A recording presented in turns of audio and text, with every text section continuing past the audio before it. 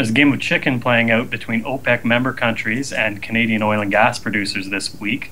OPEC countries are set to meet in Vienna. They will decide whether or not to cut the amount of oil they produce. Analysts have put the probability of a production cut at 50%. To stop prices from falling, either OPEC or members of North American oil and gas companies will need to slash the amount of oil they produce neither seems willing to back down. The International Energy Agency has said the global supply of oil is growing faster than the global demand for oil, thanks in large part to the growth of the oil sands and the growth of shale production from North America. Oil has moved into a bear market as a result. Both the North American and the global benchmark price have fallen 30% since June.